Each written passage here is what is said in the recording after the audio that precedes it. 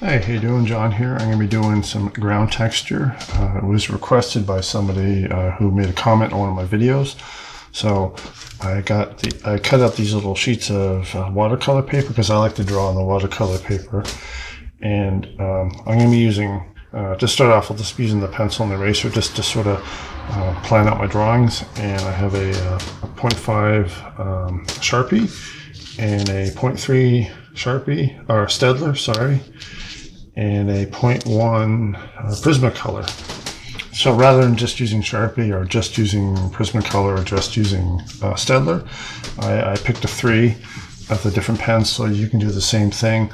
Um, sometimes I use the um, Rotring, um, but they're expensive and uh, I thought maybe uh, people might prefer it if I just did a tutorial uh, just with the basic cheap pens you can buy at the dollar store or any um, art store. So, um, so first thing to do is I'm going to start off first.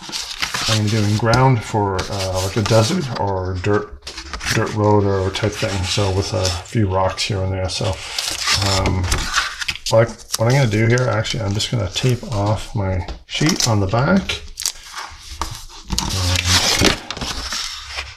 Just center it there with the camera and that way I can go ahead and draw and I'm not worrying about it shifting around because a lot of times when I'm drawing I'm having to hold it down. So this way I can just sketch um, with my one hand there. And I like to wear these gloves that I have um, like these socks and I just put that in there. So it just stops me from smearing type thing right? And keeps my hand off the drawing my uh, from the oils in my hand getting on the paper right? Or, or limits limits that as much as possible anyway, so. But first thing you want to do is just to establish your horizon line uh, do that in pencil. And um, focal point assume it's the center and just draw some lines uh, just to represent you know everything vanishes to the, towards the focal point here in the center right so and then you can kind of start to just sort of lay out a few things, like maybe like a, a rock here, larger rock, and then, but as everything goes to the uh, focal point, you know, things are going to get smaller. So let's assume that all these rocks are the same size. In reality, you're going to have different sizes rocks on your in your landscape. But uh, just for argument's sake, we'll just make them all the same size, but they'll appear smaller because they're all vanishing into the distance, right? All right, so there's some other rocks up here. That, right? And then we can just sort of maybe like rough, lightly line in some areas that are going to have different uh, light and dark dirt, right? So maybe we can say that uh, the light source is going to be over here. So then your shadow is going to be on the opposite side of the uh, of these uh, of that light source, obviously, right? So this area here will be your shadow, this side, and uh, right here, all the way through, right? So if you hold your ink pen on the side here, you can actually you can actually shade with it so I'm using the point one just to start off. So it's very light.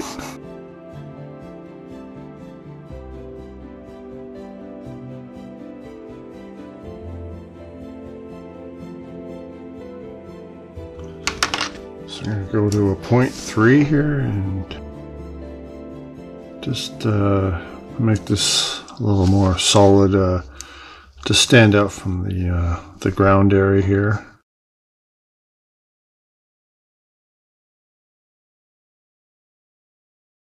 And you can do the same thing. You hold your pen sideways. You can you can kind of use it to, to shade out areas on your on your drawing, right?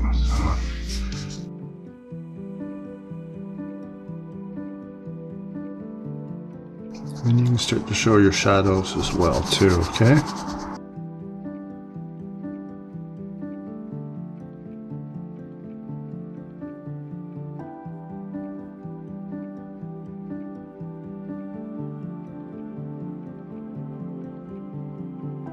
So every time you're going to draw a shadow, just occasionally look back at your sun and just with your, if you draw on these little pencil arrows, just to remember that, you know, obviously your shadow here is going to be on this side, right? And here, these rocks, the shadow is going to extend out.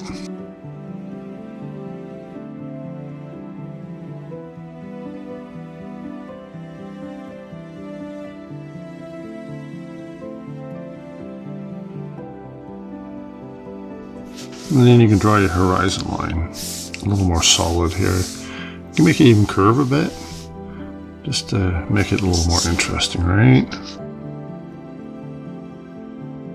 And then with your point three, holding it sideways, you can kind of just start to sort of using different pressures just to sort of show some different uh, landscape textures off in the distance, right?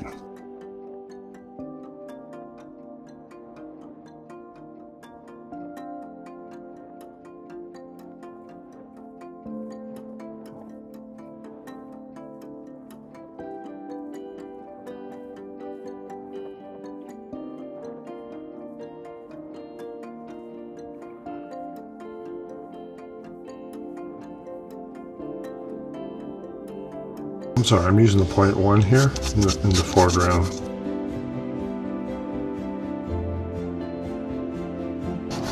And a little bit in the background too, obviously too, right?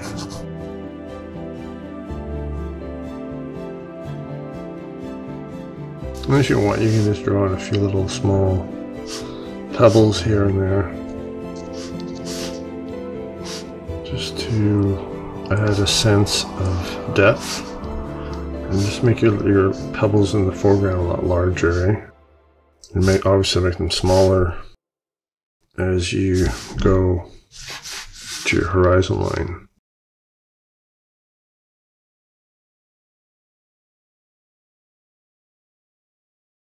Now with the point 0.5, I'm use the Sharpie here. I'm just going to darken up a few more areas here.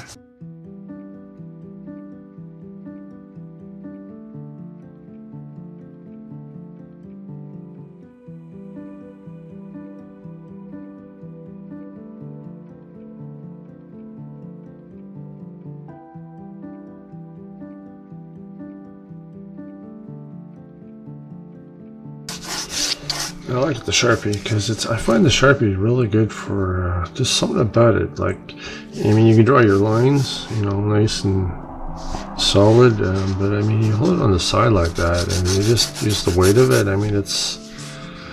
You can really, you can do really uh, some nice shading, almost like a pencil, almost.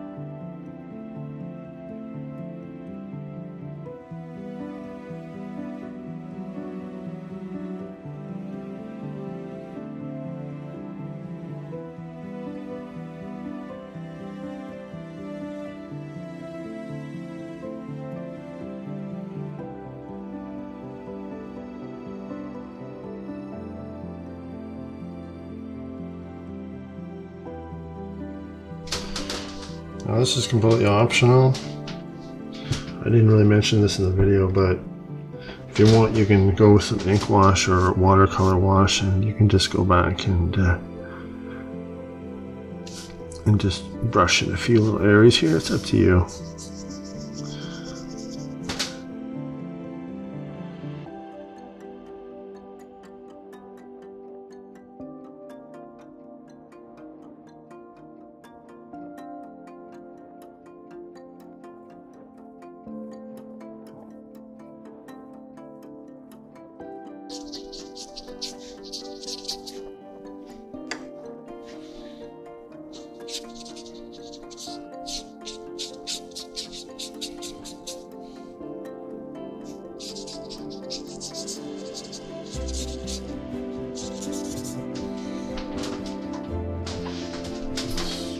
Much it, I guess.